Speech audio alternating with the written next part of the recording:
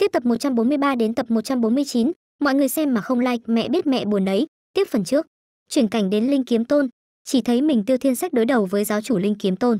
Tại sao đạo hữu đến môn phái của ta, tàn sát bừa bãi, ngươi không sợ rằng ta sẽ kiện đến học viện linh động sao?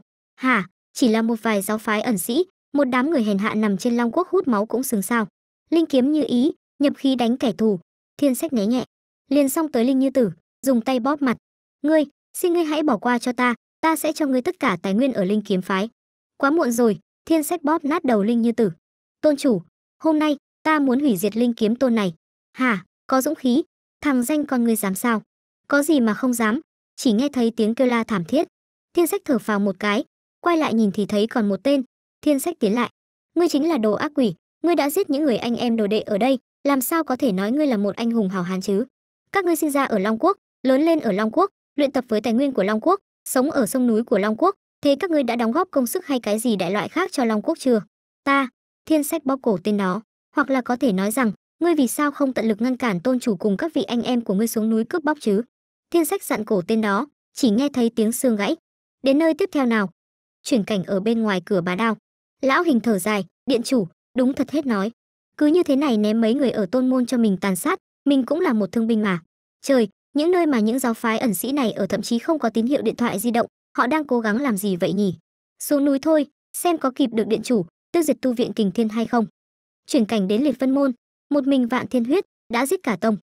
Chuyển cảnh ở trên phố lúc này, không, tôi sẽ không bao giờ để sự kế thừa của giáo phái thần phong tôn bị hủy hoại ở trong tay mình đâu. Mình nhất định phải sống sót, chạy đi, chạy càng nhanh càng tốt.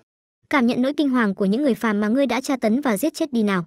Giết mấy người phàm này thì có gì chứ? Những kẻ yếu đuối đang sống này, nó cũng chỉ để làm hài lòng những người trong chúng ta trở nên càng ngày càng mạnh mẽ thôi. Không sai, bởi vì thế một kẻ yếu đuối như ngươi nên tập trung chạy trốn đi thì đúng hơn.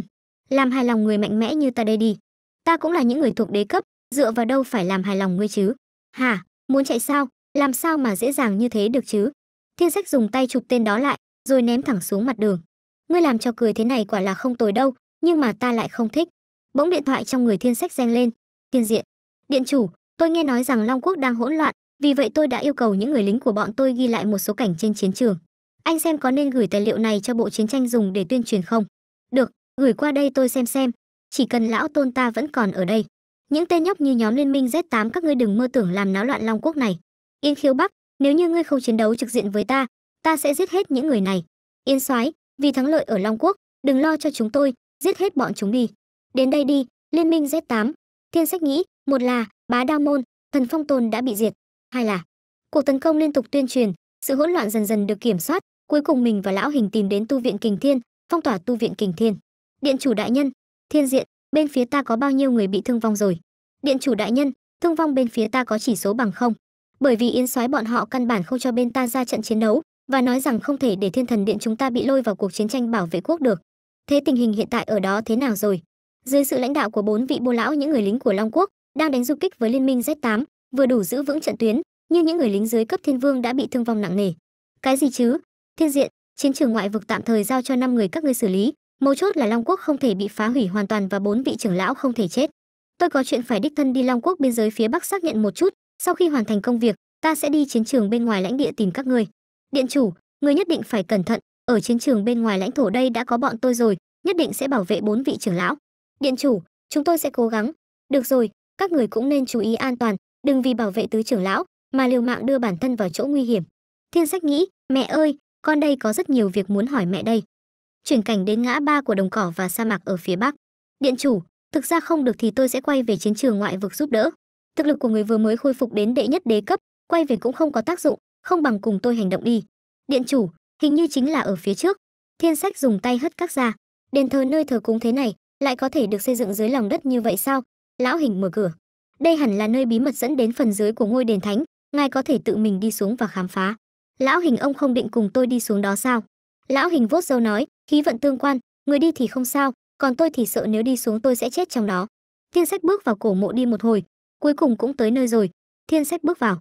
Di tích của ngôi đền thánh ngay phía trên ngôi mộ này, rõ ràng là cố gắng chấn áp thứ gì đó, nhưng ngôi mộ này lại bình thường như vậy, rõ ràng ngôi đền thánh không phải đang chấn áp nơi này.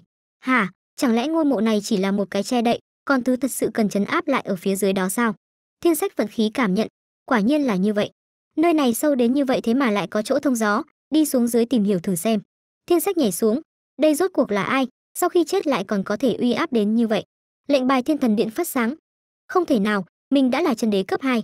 thực lực có thể so với chân đế cấp 2, một cái xác chết không biết bao lâu rồi vậy mà lại muốn áp chế mình sao mình chính là tiêu thiên sách tuyệt đối sẽ không bị một cái xác chết thế này áp chế mình đâu.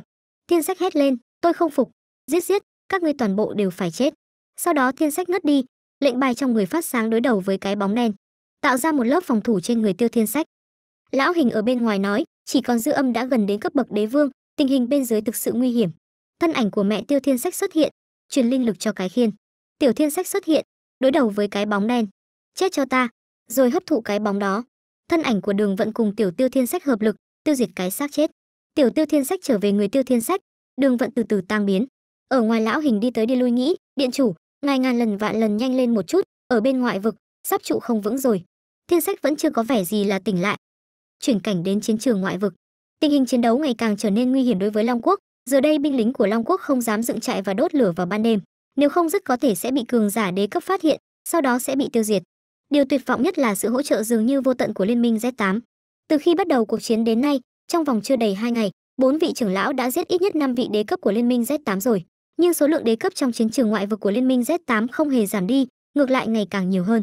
Rốt cuộc đại đa số thiên tài có tiềm lực đế quốc ở long quốc đều bị những giáo phái đó cắt đứt. Cậu nhìn tôi làm cái gì? Tôi chỉ là một chiến thần trẻ tuổi mà thôi, vừa không phải là làm người làm chủ. Chột dạ cái gì? Lão già non như cậu, đang có ý gì vậy? Được rồi được rồi, những chuyện này không phải là trọng điểm vấn đề quan trọng là liên minh z8 sẽ có 3 vị đế cấp và 6 đế cấp đỉnh cao vào chiến trường bên ngoài vào sáng mai. Chúng ta rốt cuộc nên làm cái gì đây? Nếu như chúng ta tham gia vào trận chiến, các chiến sĩ ở thiên thần điện, có thể, không, là nhất định đều sẽ hy sinh. Luca điện chủ lúc trước đã từng nói, nếu như lúc ngài không có ở đây, mọi thứ đều nghe theo cậu hết. Luca suy nghĩ một lúc, liền đấm tay xuống đất nói, tham gia trận chiến, chúng ta nhất định phải tham gia. Lão tử đây cũng là người của long quốc, lão tử không thể kiểm soát được nhiều như vậy đâu. Chuyển cảnh đến hoàng cung truyền, tướng quân trấn quốc vào điện. Thiên hạ từ từ bước vào điện. Thần, thiên hạ, bái kiến điện hạ. Miễn lễ, bình thân. Các man tộc ở biên giới phía bắc gây ra sự hỗn loạn, thiên hạ đã dẫn đầu 10 vạn binh đi trấn áp thành công. Bệ hạ ban thưởng, thanh kiếm hoàng đế hãy luôn mang theo bên cạnh, sau này có thể giúp đỡ đi lên rất nhiều. Đa tạ bệ hạ ban thưởng, tướng quân hãy mau quay về, đừng để chấm thấp thỏm. Vâng thần, cáo lui. Thiên sách nghe thấy tiếng, mau xem mau xem kìa, bọn họ quay về rồi. Tướng quân thiên hạ thiên hạ vô địch. Tướng quân bất khả chiến bại. Chúc mừng tướng quân đã chấn áp quân cướp chiến thắng trở về. Làm sao có thể? Vị tướng này hoàn toàn không tồn tại trong lịch sử. Những người lính phía sau anh ta đều là cấp bậc đế vương. Tướng quân, ngài đã quay về rồi. Thiên hạ, chàng quay về rồi sao? Chàng có biết không những ngày này thiếp đều lo lắng cho chàng rất là nhiều. Thiên hạ cười, trên đời này không có trận chiến nào mà ta không thắng được. Người có thể hại ta, có thể còn chưa sinh ra nữa. Vi vi sao? Ta rời xa nhà, nàng cứ yên tâm đi nha. Dạ vâng có chuyện gì thế này? Tại vì sao nữ nhân kia lại giống vi vi y như đúc thế? Nàng vào trước đi, ta quên một vài thứ đồ ở bên ngoài rồi. Được, đừng nán lại bên ngoài quá lâu nhé, để em đi hâm nóng lại miếng súp. Hả, ai dám do thám tướng quân ta đây? Mọi người đăng ký kênh để theo dõi nhé. Yêu mọi người, donate càng yêu.